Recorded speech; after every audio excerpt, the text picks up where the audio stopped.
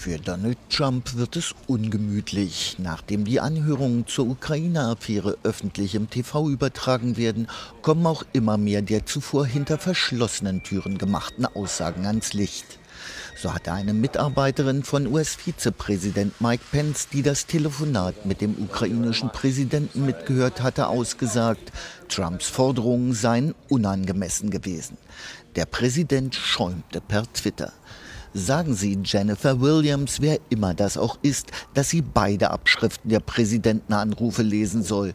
Dann sollte sie sich mit den anderen Never-Trumpers treffen, die ich nicht kenne und von denen ich meistens noch nie gehört habe, und einen besseren Präsidentenangriff entwickeln. Sogar während der öffentlichen Anhörung hatte Trump Marie Jovanovic, die frühere US-Botschafterin in der Ukraine, auf Twitter attackiert. Die reagierte live im Fernsehen geschockt. Das ist sehr einschüchternd.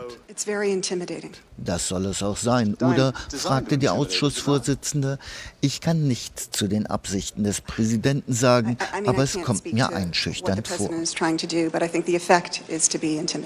Inzwischen fällt es auch leidenschaftlichen Unterstützern des Präsidenten immer schwerer, seine Ausraster zu entschuldigen.